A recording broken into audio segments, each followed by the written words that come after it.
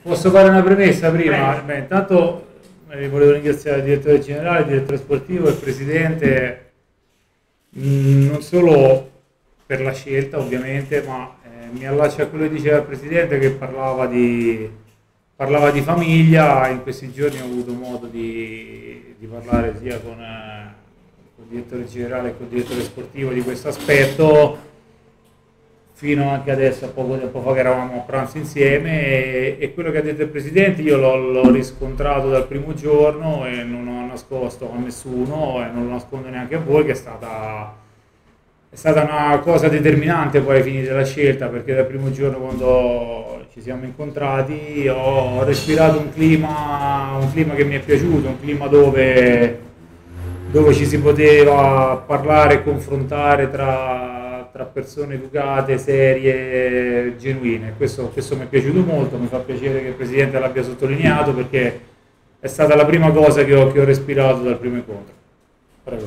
Ti dicevo tre domande in una, la prima già presto per risposto, e gli chiedo che cosa l'ha convinta ad accettare questa panchina dall'inizio, per lei la prima no, panchina dall'inizio della stagione, e, e quali sono state le motivazioni in parte, come dicevo, ha risposto. La seconda è il tipo di condizioni eventualmente lei ha chiesto alla settimana per applicare quello che può essere il suo gioco. Abbiamo visto dal suo curriculum no? il 4-3-1-2. Terza, siamo abituati da sei anni a fermo a vedere tutti gli allenatori con sciarpe, tute, eccetera. Lei continueremo a vederlo in cravatta allora, concludo brevemente allacciandomi alla prima. Sicuramente la sensazione che ho avuto a pelle è stata determinante. Io mi sono sempre fidato di, di questo mio lato, di, di, di percepire le, le, persone che ho intorno e l'ambiente che ho intorno. Ci ho quasi sempre preso, speriamo di, averci preso anche stavolta, ma non ho dubbi che da, da quel punto di vista la sensazione che ho avuto sarà quella. Per quanto riguarda il resto, io non, non sono, poi mi conoscerete meglio con calma e più avanti, non sono, ma come persona, eh, non parlo di allenatore qui, non sono uno a cui piace porre condizioni, perché secondo me è una cosa che non ha senso, a me piace condividere, piace poter parlare, piace poter anche discutere tra persone intelligenti e persone a modo. Porre condizioni può significare tanto nel, nel, nel mestiere che faccio, ma anche niente, perché poi porre condizioni a giugno quando è tutto fermo e tutto immobile ha senso fino a un certo punto, no? perché chiunque può, può, prometterti la luna e poi non dartela come, come viceversa, quindi non, poi il direttore lo confermerà, non, non, ho posto nessun tipo di condizione se non la, la speranza, ma ripeto, non mi sbaglierò, di, di poter avere un dialogo costante, giornaliero, ma soprattutto diretto, chiaro, senza troppi sotterfugi. Per quanto riguarda la terza, adesso vediamo, vediamo come sarà la tuta di rappresentanza. se sarà bella andrò in tuta, se no, se no andrò vestito anche così, non è un problema. Anzi. Era, era, una curiosità. No, no, no, ma è una battuta. Una cosa che, che, mi piace, a prescindere. Poi vediamo, questo si deciderà al di là della battuta insieme alla società. Insomma. Una domanda, il giocatore era indiscutibilmente un leader che tipologia di allenatore immagini forse di essere ma anche di diventare, no? perché comunque parliamo di una carriera che all'inizio con quella lunghissima da giocare questo, ma su cosa punterai, quindi grinta, in realtà il sogno del bel gioco, cioè dove vorresti puntare?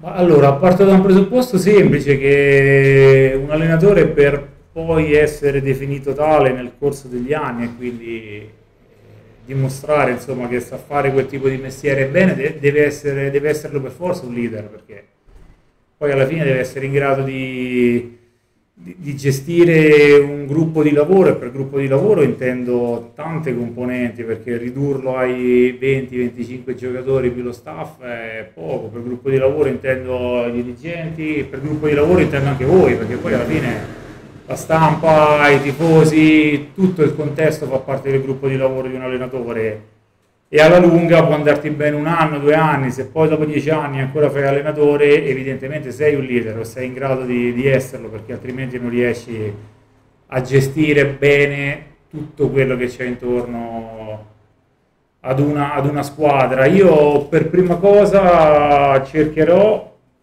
e credo su quello di, di essere in grado di farlo, altrimenti non, non proverei neanche a, a, fare questo mestiere. Credo di essere una persona in grado di reggere, di reggere il confronto sul dialogo, di, di essere una persona sensibile, intelligente, che è in grado di capire non dico tutte le situazioni, ma gran parte delle situazioni e delle dinamiche che, che, ci sono e che ci saranno quotidianamente e non parlo prettamente solo di, di calcio, di aspetti tecnici che sono sì importanti, ma poi alla fine non, non si può limitare il tutto alla gestione dell'allenatore a quello.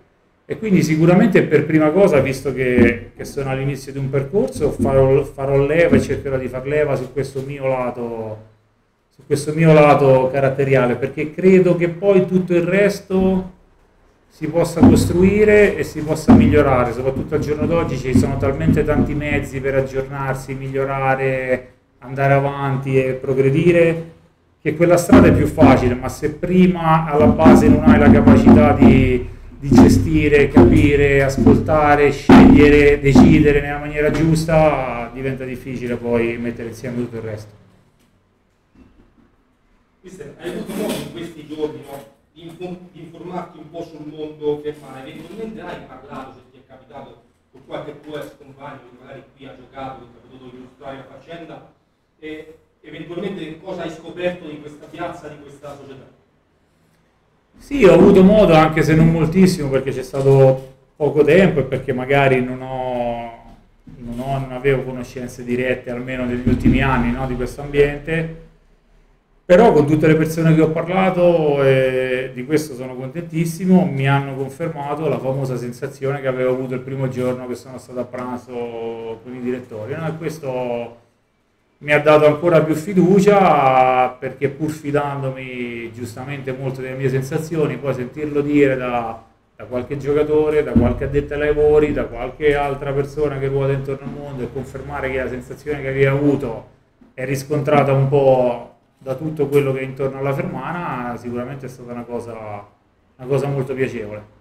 Questa è una società dei pochi soldi ma sicuri e questo da anni c'è una grande certezza di usare i conti enormi. Questo è stato sufficiente per convincerti a venire.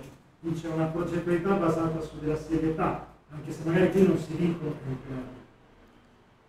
eh, per come la vedo io, poi ripeto, io sono, sono molto realista e realistico, no? È stato non sufficiente, è stato fondamentale perché poi ti ripeto, quando parli a giugno, uso una battuta, quando si parla a giugno sotto l'ombrellone, eh, poi tutti vogliono vincere, fare, giocare bene, far giocare i giovani. Eh. Poi dopo passano i giorni, passano i mesi e c'è un altro aspetto che è molto più reale molto più pratico, no? Quell'aspetto lì penso di averlo, di averlo percepito da subito e, e questo per me è stato è stato fondamentale, soprattutto perché sono, sono all'inizio. Però qui al di là del Presidente, che il Presidente lo può confermare, gli altri sono tutti con i piedi per terra. Eh, il Presidente invece spera sempre di arrivare ai punti massimi.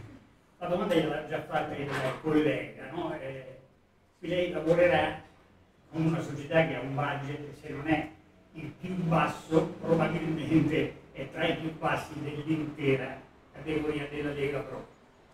Budget gestito da questi due signori che lei ha a fianco in maniera sempre molto professionale, tant'è che da quel che noi sappiamo, se qualcuno sa qualcosa di diverso mi può smentire, la Fermana è in regola in tutto il percorso.